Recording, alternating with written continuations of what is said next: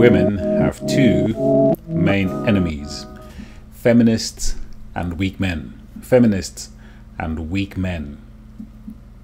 I don't want to labor the point about feminists.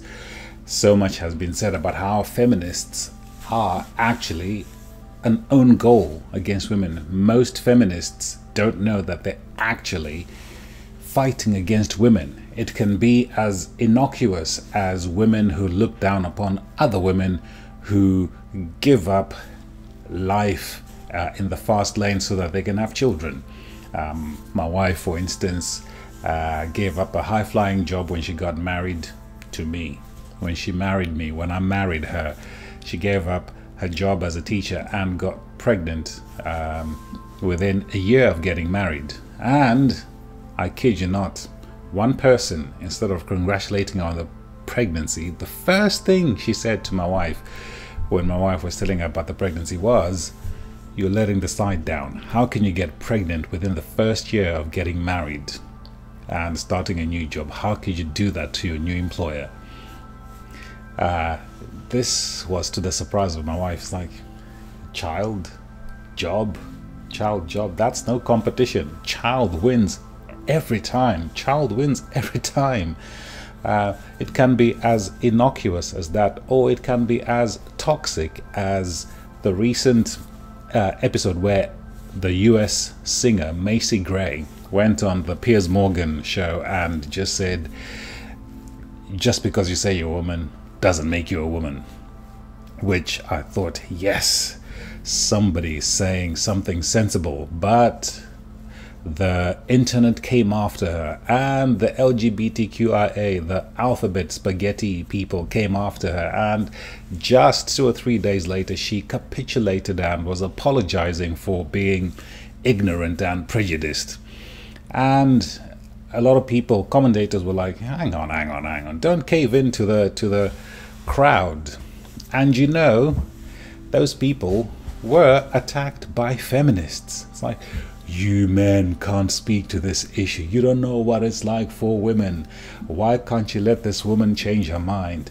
Even though, even though trans people are taking the space of women, you now have feminists who can't decide whether they should defend Macy Gray just because she's a woman, or they should say, Macy Gray, you're wrong because uh, you are being illogical. So we have this silly situation, it's silly in my mind anyway, where feminists are in a dilemma.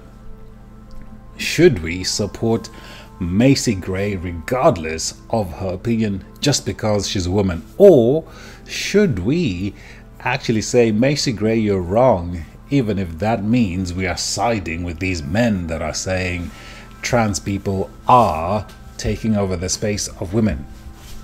Feminists are confused. Feminists are in a dilemma. It's Germaine Greer who was deplatformed for her opinions about trans people, and she had to recant. If a feminist of Germaine Greer's caliber can be beaten into submission by trans people. Feminism is terrible for women. Feminism is terrible for women, but I won't labor feminism. I won't even go into how feminism was hijacked by men so that feminists in past times were actually against abortion. They were actually against abortion. But feminists were convinced by men that abortion was good so that they could stay in work.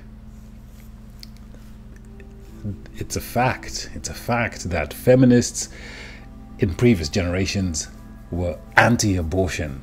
It was abhorrent to them because abortion went to the core of their being, the core of their purpose, one of their purposes in life, to actually produce children. And yet, they have been convinced that abortion is a feminist issue. Feminism is terrible for women. But more than that, more than feminism being terrible for women. One of the the other enemy of women today is weak men. Weak men. And this was on display at the latest General Synod, where the Bishop of Gibraltar was asked what a woman, well, was asked if the Church of England had a definition for what a woman is. And the Bishop of Gibraltar, uh, Bishop Innes, could not give an answer.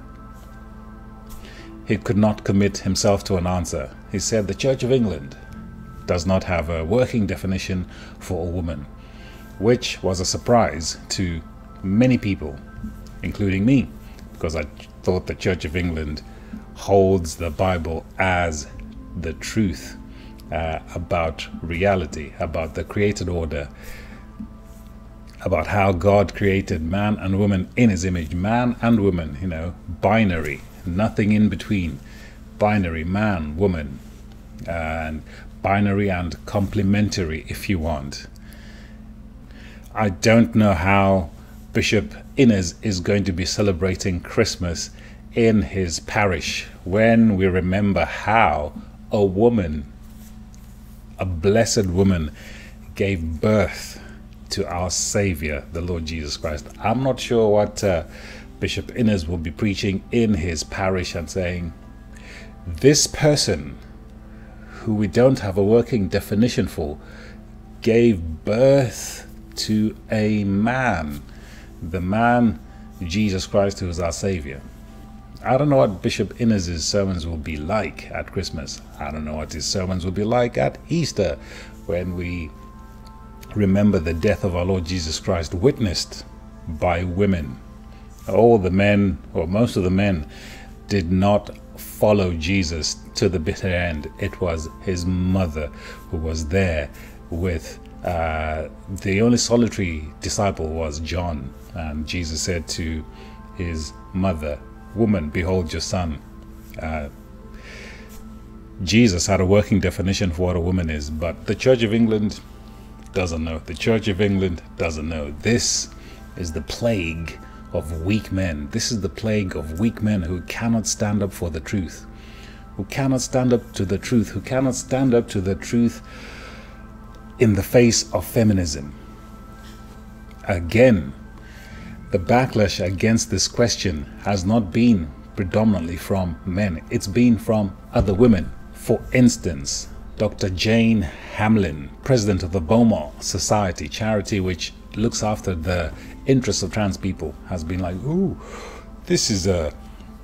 I'm puzzled why people are obsessed with this question of what is a woman, of defining a woman. Why must this be an issue for the Church of England? There's a woman standing up for women by letting in men masquerading as women. I'm glad to see some women like Maya Forstater standing up to the silliness, to the irrationality, to the silliness by these bishops who should know better. Weak men. Weak men are enemies of women. Weak men hate women. I'm sad to see this canker, this rot coming into the Church of England, but I'm not surprised. I'm not surprised. I'm, I'm, I won't, I, I'd be surprised if any of the women bishops actually stood up against this with firmness and said, You are invading. You are invading women's spaces. You are actually putting women at risk by upholding trans rights, whatever that means. But more than that, more than women with flocculent thinking, women bishops with flocculent thinking, vicaresses and bishop bishoprettes, it's weak men. It's weak men that are putting women in danger. It's weak men like Bishop Innes, weak men that are putting women and girls in danger. Instead of protecting them, instead of protecting them, they are putting women in danger. Weak men hate women. Strong men protect women. Strong men protect women. Strong men look after their wives, strong men look after their daughters. They protect them. They don't let them, they don't put them at risk. They don't let other men who are pretending to be women put them at risk. The two great dangers of women, the, the two great enemies of women today are feminists, I won't label that, but weak men, just weak men. Weak men are the worst enemy of women because they actually hate women. They don't want to protect men. And a shame on the Church of England for putting up putting up with people like Bishop Innes. And a shame for the women bishops who can't even stand up for their own sex, for people of their own sex. A shame on them. A shame on feminists, a shame, a real shame, a great shame on weak men who will not stand up for women.